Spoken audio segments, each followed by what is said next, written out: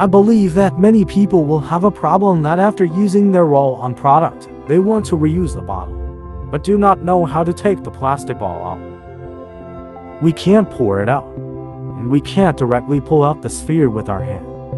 I will now teach you a very easy way to easily remove this sphere. We prepare a tape and a roll-on bottle that has been used up. First, wipe the sphere clean to make sure no liquid is left on the surface.